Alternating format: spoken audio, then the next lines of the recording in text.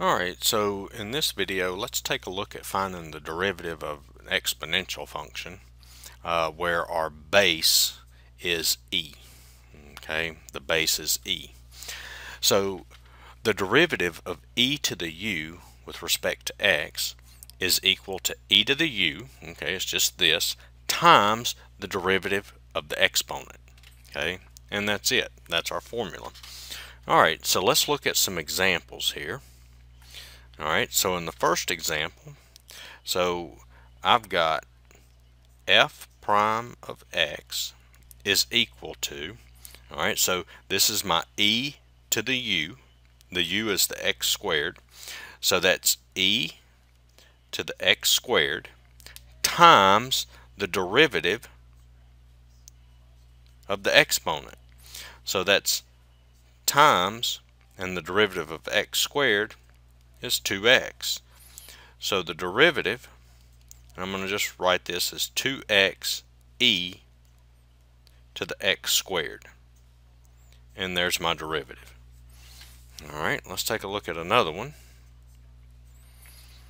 Alright, so I've got f of x is equal to e to the 3x cubed plus x squared.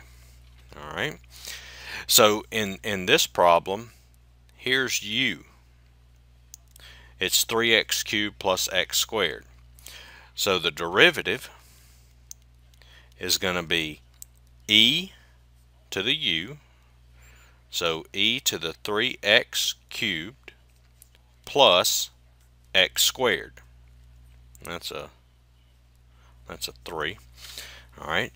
So it's e to the u, which is e to the 3x cubed plus x squared times the derivative of the exponent.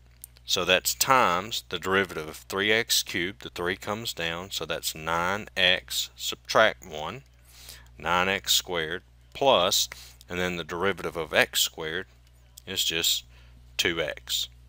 And so I guess you can you can leave it like this, that would be fine. If you want to write this in front, that's fine too. Alright, so let's take a look at one more. Alright, so I've got f of x equals e to the sine x squared. Okay, so in this one, my u is sine x squared. So the derivative would be f prime x would equal e to the u, so that's e to the sine x squared times the derivative of the exponent. So what's the derivative of sine x squared? So that's going to be times, well the derivative of sine is cosine, so that's cosine x squared times what we're taking the sine of. So the derivative of, of x squared is 2x. Now, now this, this whole thing here, that is the derivative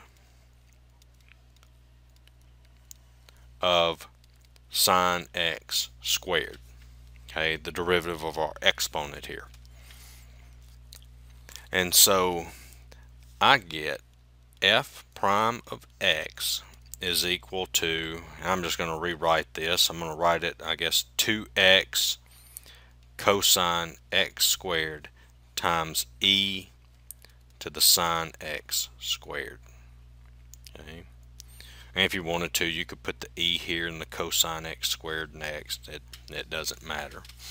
Alright, so I hope this video helped. Uh, I'll try to do some more with these, with the exponential, with the e. Uh, maybe get some more that's a little more difficult or something or where we have to use the product rule maybe we'll have an X in here but in this video I just wanted to show you how to take the derivative of an exponential where e is the base. Okay. And I'll have another I'll have another video you can check out uh, where we're taking the derivative of an exponential but the base is not e. Okay. So check that video out if you need to. Alright thanks